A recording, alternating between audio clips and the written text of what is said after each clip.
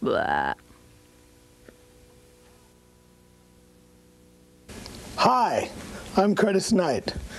For those of you who don't recognize the name, I was fortunate enough to have discovered, played with, and been a very close friend of Jimi Hendrix.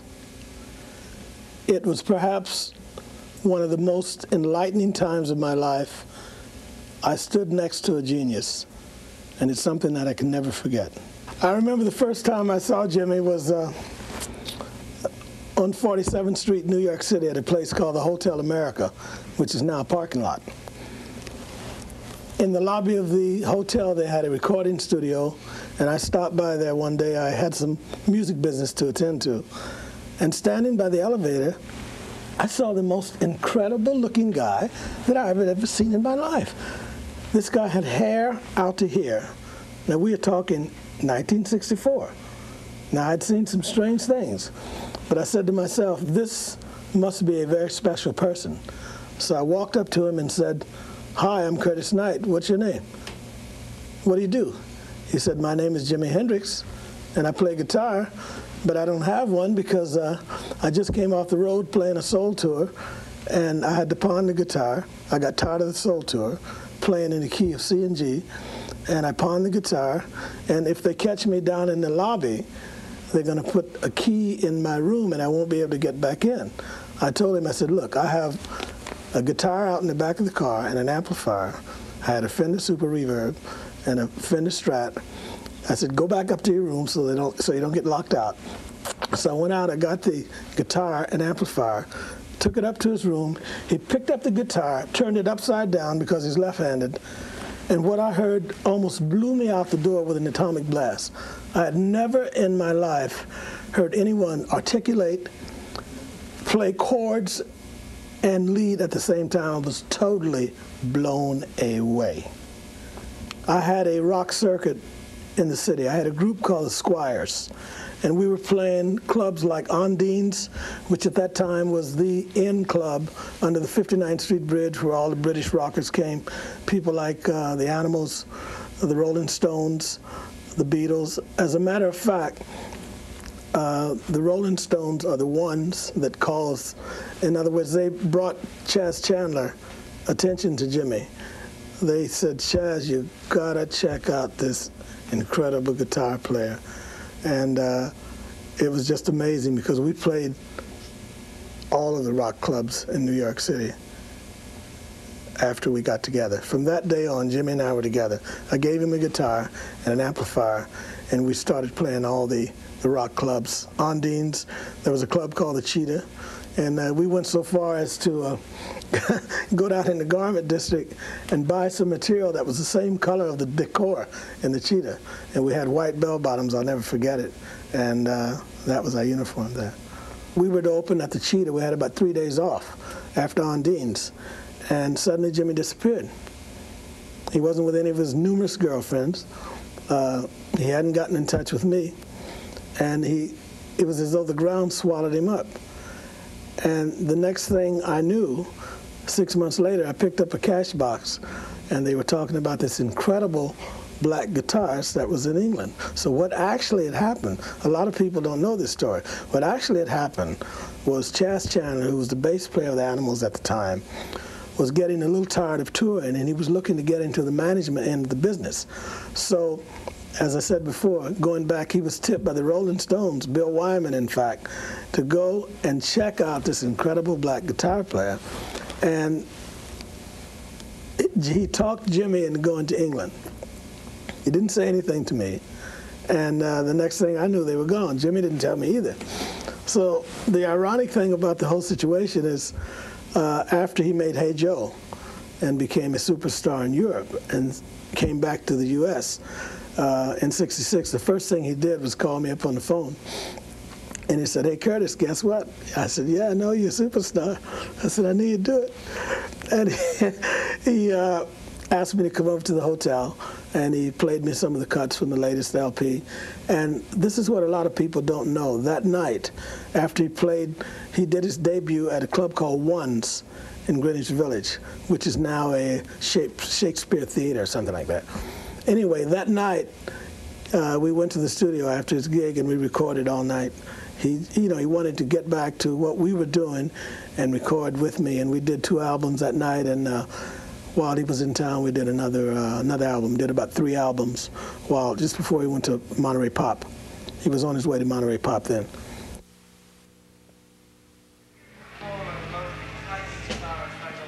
The Jimi Hendrix Experience.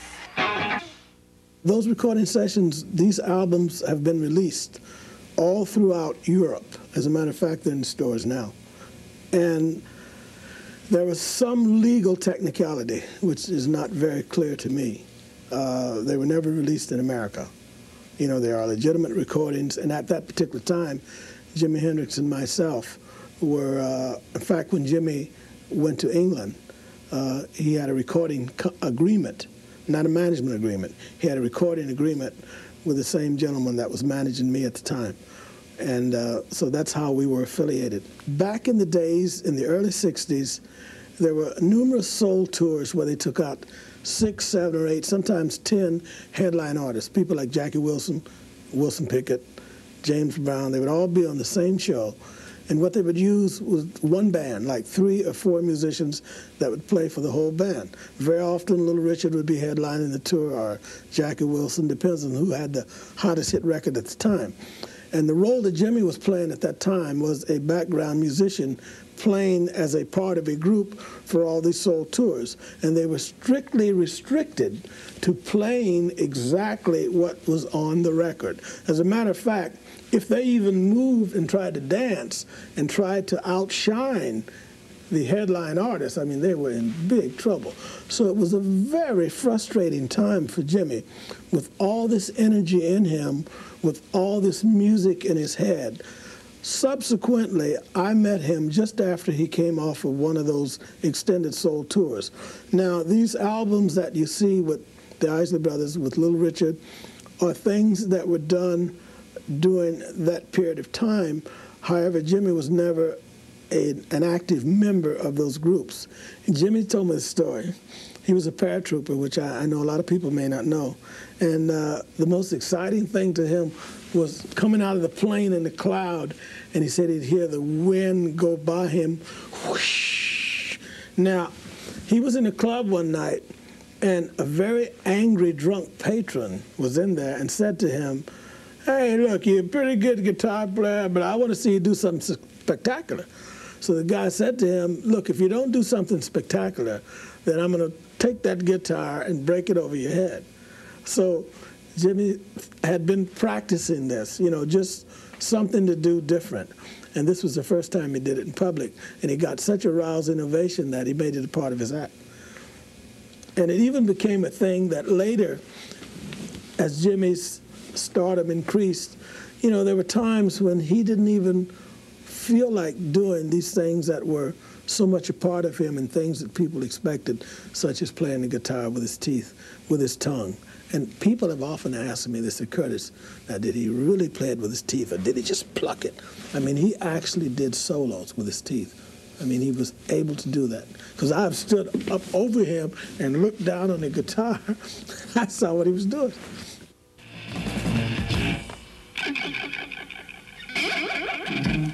Well, the reason I decided after Jimi's death, Jimi died in 1970 at the actual time of his death, September 18th. I was in Paris doing a television show, and I rushed to London as soon as I could get there, and I was very close to the young lady that was with him the night he died, Monica Dannemann. So I perhaps know the story better than anybody of what actually happened the night of his death other than, of course, Monica Dannemann, who was there actually with him.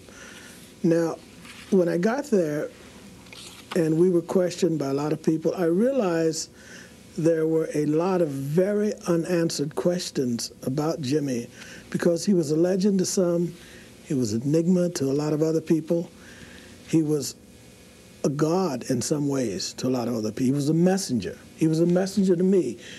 He was someone that expressed himself with the guitar, with the lyrics in his songs. Now, if you met Jimi, if Jimi was in this room right now, and he was acting his normal self, he would be sitting in the corner, perhaps just eating bread. If you saw him on the stage, naturally, everyone knows this. He was like someone out of the jungle or from another planet. He became totally immersed. He's, his personality became an extension of the guitar, but they, they became one. And he did things with the guitar and with his gyrations, etc., that at that time had never been seen before. Jimi's recording techniques have just now started to be utilized by a lot of people. Firstly, the thing that he did was amazing at the time because there was only eight 16 tracks, you know, when he first got started. And the thing that he did because he structured a three-piece group, which meant the bass, he always taught the bass player, which was Noel Redding, uh, naturally, in the Jimi Hendrix experience, a rigid bass line, a static bass line, a definitive bass line, where the rest of the arrangement would have something to come back because Mitch Mitchell was a free form, almost jazz drummer, if you will, a lot of riffs and things which complemented Jimi's playing. Now, one of his recording techniques was to record all the rhythm in stereo, okay? And another thing he would do, he would play an octave of the bass line and record that in stereo. So what happened? It gave him a very broad sound. And then, because he had big hands, and this may sound strange, but because of the size of his hands, he was able to do things with the guitar, hold certain strings down, and even the palm of his hand had relevance in terms of certain tones that he would get from the guitar. And as far as his singing recording technique was concerned, he would always put up a screen when he did his vocals because he was still shy and even to the day he died, he never really thought he was a singer.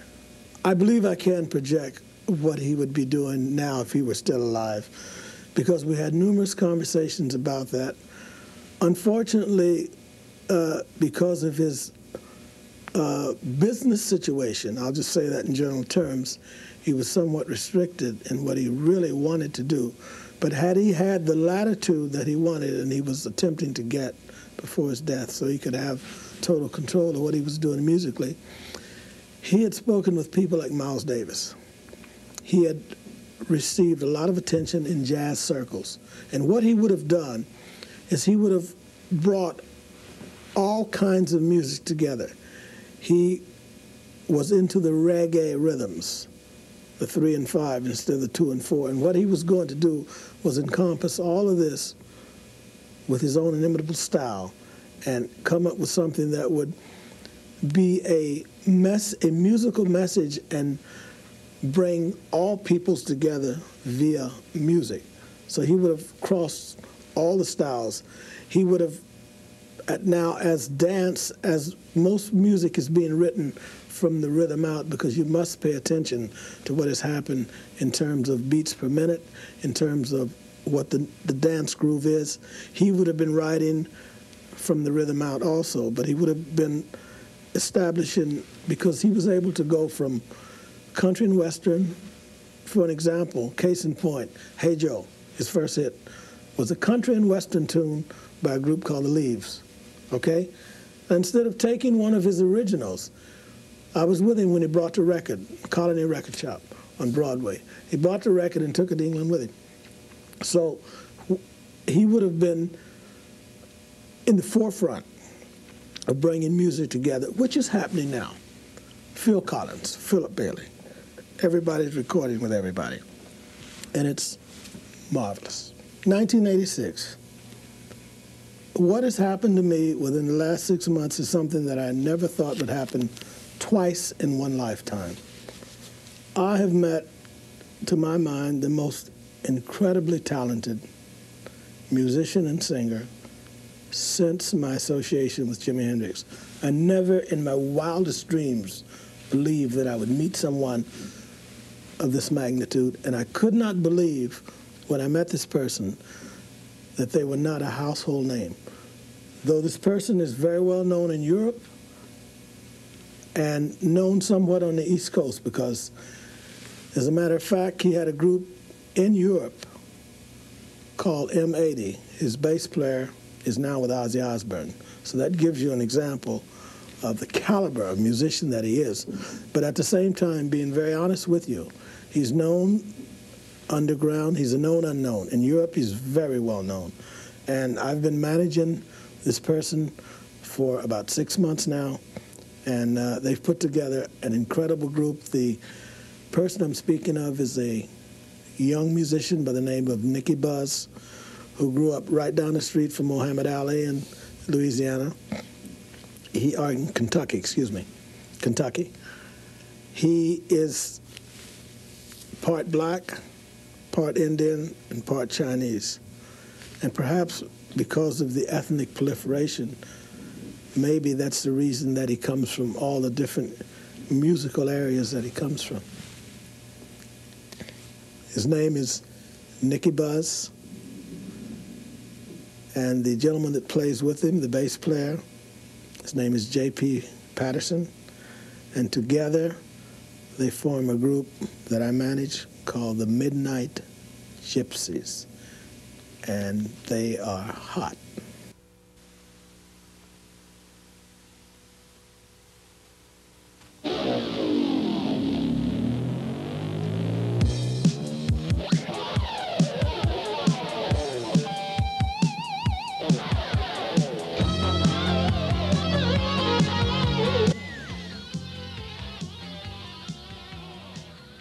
Second video is called Wild in the City. And what it does, it epitomizes the pulse of New York City, the naked jungle. It epitomizes the heartbeat, the hope, the frustrations, the desire, the fact that New York can be whatever you want it to be. You can be trapped and be in a situation where nothing good seems to happen. Or you can rise above the degradation and all the things that can be negative and be whatever you want to be because it represents a city of opportunity. And Wild in the City is just a reflection of what's happening from one point of view to a lot of people. There's one thing I'd like to say that everyone should be aware. When the midnight hour strikes, the midnight gypsies are on the horizon. If you look to your left, to your right, to the north, to the south, to the east or west, or even if you see a certain star way up there in the galaxy, that just might be the midnight gypsies.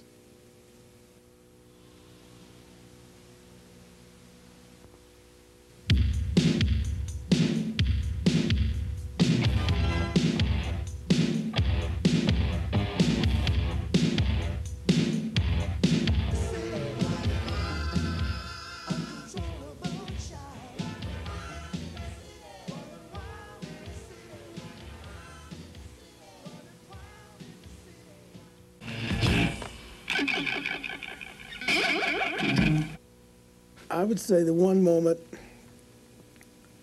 that I shared with Jimi that personified and epitomized the person is we were playing at a club in Hackensack, New Jersey. At the time, it was called George's Club 20. We had the microphone set up on a beer case, and you could smell the fish frying back in the kitchen. And it was so crowded up on the stage that people were right on top of you. They were shooting pool in another room. And no matter what was happening, the minute Jimi started his solos, it was as though something happened from another dimension. People would stop still and be mesmerized by what he was doing. For an example, at that particular time, I thought I was pretty hot stuff with the ladies, and I would invite my girl down. Five minutes after they were sitting in front looking at the band, they were not looking at me. They'd be looking at Jimi. I mean, he had the most incredible amount of charisma that I've ever seen. And he always had a moment to explain how he did a run, if some kid stopped him on the street, even when he was a superstar. He always had time. And if he were here today, he would still be following that path. Absolutely.